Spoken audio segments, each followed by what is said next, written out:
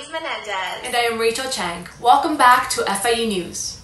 Experts say the stressors that healthcare workers experience could lead to mental health issues. Reporter Jessica Ramirez tells us how nurses cope with COVID 19 and how they will move forward. COVID 19 has affected everyone's life in some way, but for healthcare workers, the invisible enemy comes with new challenges. With concerns for their own well being, nurses in the Florida hotspot of the pandemic try different ways to help avoid developing mental health problems. More than anything, it's been trying to keep a positive attitude at work with all the staff and the nurses and the nursing assistants, explaining to them and reminding them why we became nurses in the first place because you tend to get a lot of either I'm scared, a little bit of anxiety, I don't want to do this. Healthcare workers on the front lines are more susceptible to experiencing psychological burdens, according to expert Diamela Arancibia. She also shares some of the ways these healthcare workers can cope during these uncertain times.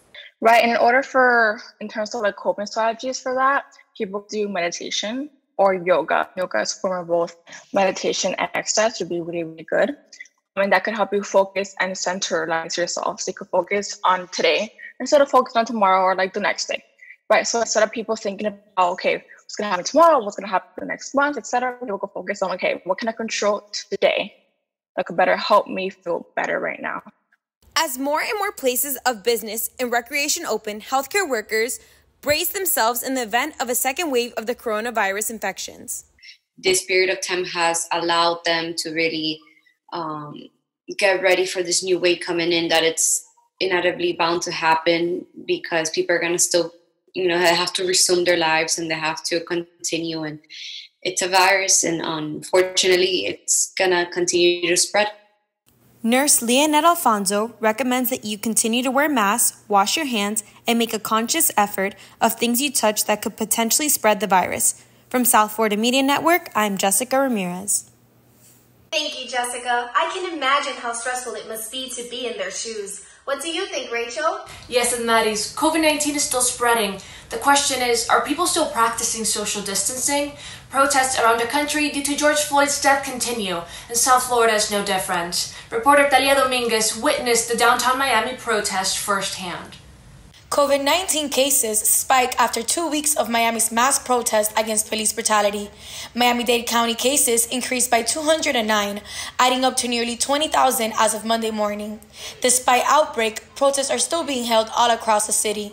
This is Talia Dominguez reporting from South Florida Media Network. Thank you, Talia. For anyone who wants to get involved but can't attend an in person protest, Dream Defenders shared several calls to action, including donating to the Floyd family's Memorial Fund. These manifestations continue despite the coronavirus pandemic, which has also affected blood donations. Reporter Loreta Alvarez has more on the story. The coronavirus pandemic has created a shortage of blood donations around the country, as people are scared to donate for fear of infections. Blood is needed every day in order to provide treatments to every patient. According to the FDA, one blood donation can save up to three lives. Organizations like the Red Cross, FDA, and One Blood are encouraging people to donate.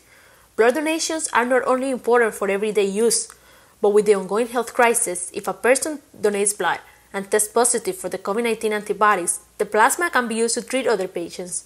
Reporting for the South Florida Media Network, Loreta Alvarez. Thank you, Loreta. Donations are a great way to help the community during this time. I agree with Maddie's. Practicing social distancing is easier when quarantined, and many Americans have concerns with businesses opening up. Reporter Marie Serrado tells us more. With cases here in South Florida continuing to rise, along with the deaths, many are concerned what outcome will come about from people breaking these social distance rules made by the government of Florida. With shops, places of business, and public settings all opening up, social distance among South Florida begins to slowly disappear, leaving others to figure out ways on how to stay safe, maintain social distancing, protect themselves and their loved ones. This is Marie Serrato reporting for the South Florida Media Network. Thank you, Marie. Precautions are still recommended in our transition to the new normal. Yes, Rachel. Self isolation has affected us all. Introverts and extroverts are coping with different ways to avoid stress and anxiety. Melissa Charia clarifies what to do in these circumstances. COVID 19 is affecting opposing personality types differently. Introverts prefer staying indoors, extroverts are having a much more difficult time during quarantine. Although introverts have felt anxiety throughout the pandemic, they seem less inclined to depression. Hobbies like computer work, video games, and other activities like reading are practiced more. It's been pretty refreshing uh, because of all the things I've been able to do that I, I didn't really have time for before. Yet for extroverts, they depend more on physical contact to feel content. Self isolation has become more of a lonely hideout and less of a break from a daily work routine. They enjoy poolside relaxation and outside exercises. The lockdown has been massively depressing to me. Very difficult. Experts say re energizing is needed for both personality types. Introverts re energize by themselves and indoors, extroverts need to be outside and have human interaction. A South Florida specialist has an advice for both. For both of personality types, find your joy. Find something that you truly enjoy doing and implement that. You may figure out what your joy is by the things that you're missing. Introverts are adapting to solitary confinement. Extroverts need conversations with others to feel alive. But both personality types do agree on one thing. This is a time for a self realization. This is Melissa Charia reporting for the South Florida Media Network. Thank you, Melissa. For anyone having trouble during these times, visit www.psychologytoday.com to see which personality type you are compatible with and practice activities that suit you best. Pets have become great companions during quarantine. Here's Betsabe Romero with an inside scoop. COVID 19 has affected everyone. Even pets felt the impact of the pandemic. During these hard times, people can feel stressed so they feel comfortable with their best friend. Today, we're going to interview Tiffany Sharia, Pumbaa's owner, who will explain how her pet has helped her get through quarantine. My puppy has helped me in many ways. Um, he's just been very supportive. Um, you can do so many things during the pandemic and then you get bored, but with a puppy, he's very nonchalant and he likes to play, so it, it's a never dull moment.